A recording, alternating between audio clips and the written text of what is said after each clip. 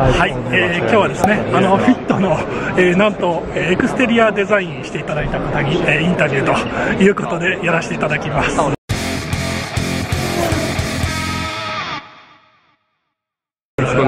あどうもはじめまして。お願いします。すごいですね、このフィットの今後ろですごいやってますけど、これをデザインしたってことなんですか？そうですね。はあーすごいあのー見た目は結構フィット3からだいぶ変わりましたよい。ね。そうですね。今回コンセプトである、えっと心地よい、えっと体験価値をはいお客さんに提供したいっていう意味で、あの心地よいっていう、はいえっとテーマで、えっとエクステリアでデザインしました。やっぱり心地よいってエクステリアとしてはものすごく難しいってことなので。そうですね、なんかは、つかみようのない、いそうですね。ものすごい難しいですね、心地よいを表現しようって、そうです。やっぱ乗り味とか、そうですね。この触感であったりね、そうですね。こう触った時の感じとか、それを見た目で表現すると、そうですね、どっちかというと、インテリア的な、はい。そういうキーワードでもあるんですけども、あー。エクセリアとして心地よいってことは、はい。なかなか難しくて。難しいですよね。やっぱりこの子はやっぱり日本を代表するコンパクトさとして、はい。あの僕のならではの視点で言うと、やっぱり世界的に一番心地よい、はい。えー、と存在って何かって考えたときに、僕はちょっと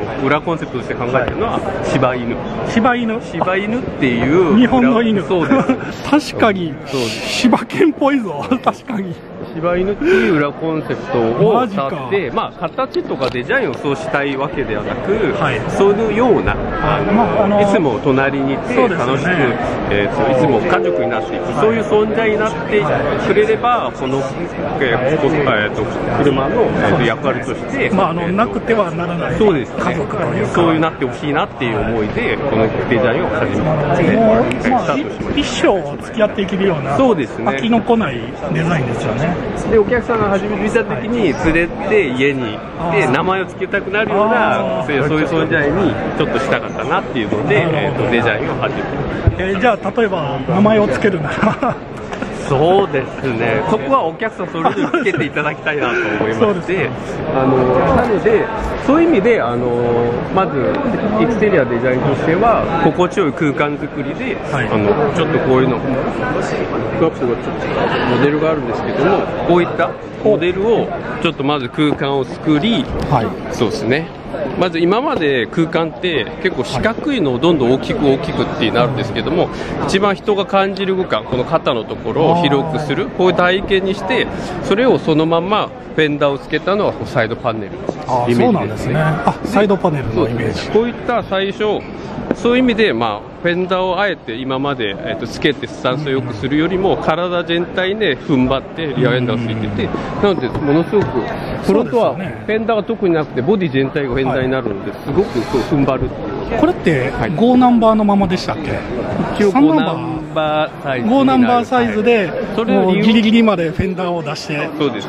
その理由は、まあ、心地よいっていうサイズってことで、はい。でかくするの、まあ、エクセリアとしてはいろいろ欲をつけられるんでいいんですけども、まあ、いかに、えーとお客さんがこうコンパクトに、えーと心地よく感じるサイズ感を出すために、えー、と5ナンバーサイズはこだわって今回。しかもこの、ね、シャトルと違って後ろが短いですもんね。そうですいや僕もねあの初めフィットの初めて乗った時の感想は、いや短いと。そうですね。短い、うん、もうちょっと長かったらいいかなと思ってたんですけど、実際街乗りするとそうなんですもう最高なんですよ。そうなんですもう幅もそうなんですけどこの奥行きがねやっぱりこの日本社会のこのそうなんですよ。ね、運転するのにはすごい本当にフィットしてるっていうね 感じがしますね。我々もお客さんのこういったニーズとか、あのやっぱり運転が上手な方々が乗る車ではないっていうのもたくさんありますので、そうですね。そういう誰でも、はい。えー、と心地よく運転できるような、そういう工夫をこの車でたくさんしています。あこれがベルトライン。へそれを健康に出してガッと下げて、はい。よりこうリア席でもあのより圧迫感のない開放感できるような視界がいいんですね。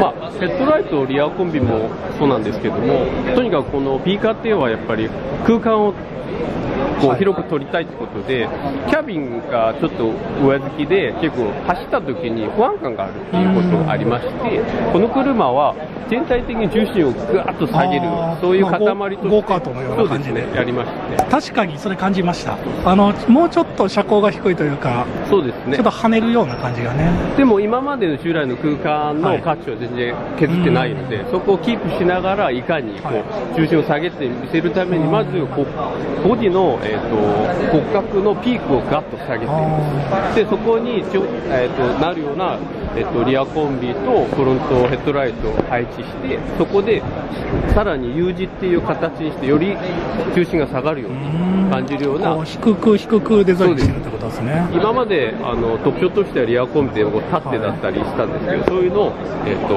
変えて、今回は字にして、それで、あの確かにこう低く見えますよね。そうですね、えっと顔ってやっぱりこう信頼、お互いに信頼し合えるような顔作りをしたかったので、はい。どっちかというと、アッパーのところでは、表情に関わる、えっと鼻だったり、目を表情して、はい。下はどっちかというと、プロダクト、まるで iPhone のようなそういう看護、すっきりした、そういうのを融合することによりこうクオリティ高いデザインをちょっと確かに。演出したっていうことで、見ると今までの看護の仕方と違って、結構ギリギリまで、こういうそうですね。下の方はピシッとしてますよね。そうですね。この上の方はちょっと丸みを帯びてますけど。ねえー、とこういう塊の、えー、とピークのすべてのディテールを配置してましてだからパッと見あんまりこううるさい、はい。えー、と配置にならなくてうん。すべてがまとまってるような、はいえー、と配置になっていて、あんまりこうこうビジなデザインをちょっと避けたいなっていう思いでやりましたなるほど。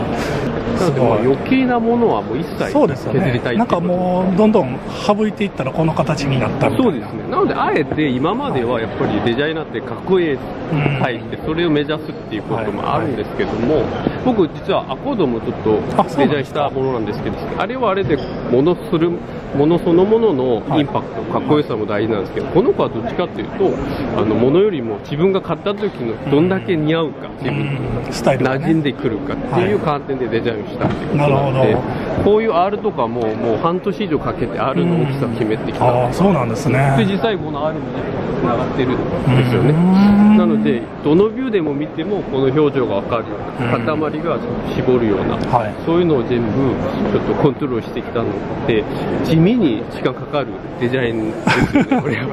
ここへたどり着くまでに結構苦労があったんですね。